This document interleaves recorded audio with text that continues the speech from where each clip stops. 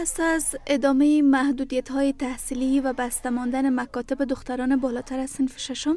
اینجا در ولسوالی چپرهار ولایت ننگرهار یک زوج جوان برای دهها دختر و پسر زمینه آموزش رایگان را فراهم کردند نام مکانی که در آن دختران و پسران درس میخوانند خانه شیرین آموزش گذاشته شده است تر څو دغه نجونې وکولای شي چې دوی هم تعلیم ترلاسه کړي، نو په همدې اساس باندې مو دغه پروسه په لاره باندې واچوله. نږدې یوه نیمه میاشت شاوخوا کېږي چې موږ دغه پروګرام په لاره اچولی دی چې په دغه پروګرام کې موږ سره تقریبا دېرش څلوېښت تنه نجونې او څه د پاسه سل تنه نارینه زده کوونکي موږ سره په دغه پروګرام کې تر اوسه پورې شاګردان در حال حاضر یکصد و پنجاه تن که چهل تنشان دختران هستند در این خانه سرګرم آموزش زبان انګلیسی، علوم دینی و عصری اند. دا زموږ راتلونکي نسلونه دي، باید چې دوی ښه تربیه کړو موږ او د دوی د کورنۍ څخه هم زما هیله ده چې په وخت یې خپل درس ته ولیږي، په وخت خپل درس ورباندې ووایي او ان شاء الله چې زما د خوا نه به ورته کوم مشکل نه وي، دوی ته ما ډیر ښه درس ورکړی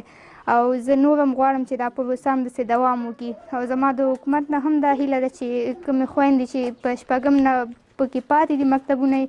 زما او نه دا هیله ده چې مکتبونه ورته خلاص. دختران که سرگرم یادگیری زبان انگلیسی، علوم دینی و عصری اند می خواهند که حکومت مکاتب بالاتر از صنف ششم را برای دختران باز کند. د استاد ډیر څه وایم ګه ډیر څه یی زده کړی دی او مونږ دلته یو نیمه میاشت کېږي چې دلته درس وایو مونږ غواړو چې انجرانې او ډاکټرانې شو مونږ ډېر څه په دغه ښوونځي کې زده کړي دي مونږ غواړو چې مونږ دپاره ښوونځي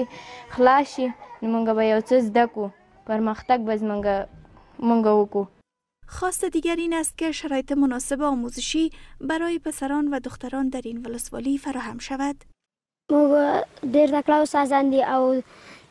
موږ سره یې ډیر خواريانې کړي دي الله دې ژوندي لري موږ د درې میاشتو رخصتۍ کې د غفلت څخه منې کړو دلته یې راوبللو دا دې ته موږ ډیر خوشحاله یم باشندگان این محل می خواهند که در سایر ولسوالی ها نیز مراکز درسی مشابه ایجاد شود.